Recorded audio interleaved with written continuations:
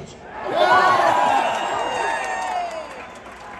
You know something? Usually, when I'm in Madison Square Garden, I'm body slamming giants. I'm winning world heavyweight titles, and I'm cracking people over the heads with steel chairs. And the energy in Madison Square Garden is off the Richter scale.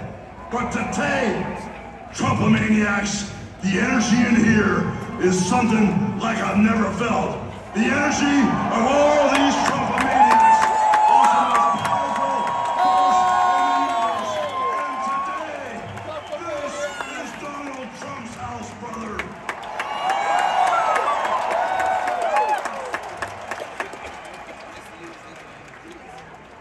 You know something, Trump maniacs? I don't see no stinking Nazis in here. I don't see no stinking domestic terrorists in here. The only thing I see in here are a bunch of hard-working men and women